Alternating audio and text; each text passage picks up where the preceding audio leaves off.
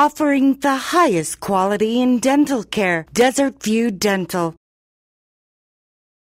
I just wanted to announce something about the law, if that's all right. Sure. Um, there's been in the last couple of meetings uh, issues raised regard regarding the appointment uh, or lack of appointment of Ron Kent, um, suggesting that the NRS requires uh, a short period of time for the board to either hold a special election or appoint for the rest of the term, and that it's been seven months. And this has come up at the last couple of meetings. And I just wanted to clarify that under the law, um, that it would be true for a vacancy. However, vacancy is defined in our statutes, uh, which excludes medical leave.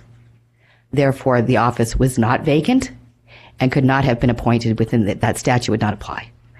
So I just wanted to clarify vacancy does not apply in this situation. Thank you. Now it does. Now that he has resigned, absolutely, there's a vacancy. Absolutely. But up to this point, before that, no. Correct. Thank you.